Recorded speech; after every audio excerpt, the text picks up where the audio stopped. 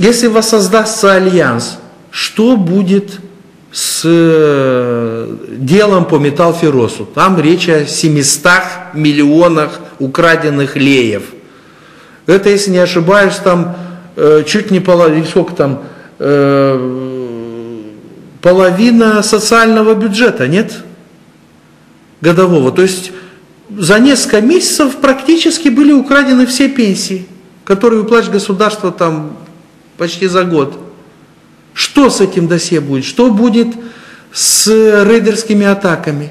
Что будет с уголовными делами против министров э, Филата и его чиновников?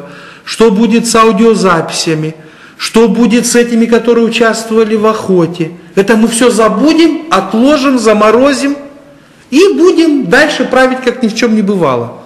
Даже не править, а продолжать воровать. Один на таможне и в налоговой службе, другой грабить страну через государственные предприятия. На эти ответы пусть Филат ответит. На эти вопросы, прошу прощения.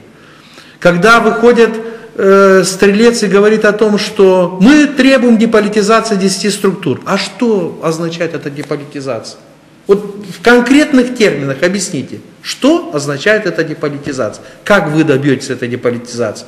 После деполитизации все люди Плохотнюка, начиная с Кетрару, э, Пынтя, э, Карари в агентстве по конкуренции, Парликов в агентстве по регулированию цен в энергетике, Юрку в телекоме и так далее. Все эти люди, что с ними будет? Они останутся на своих местах, уйдут. Это все вопросы, на которые надо отвечать. Без этого нельзя идти дальше. Кто ответит за э, все те преступления, о которых они сами говорили? Будут ли открыты уголовные дела? Кто этим будет заниматься и так далее?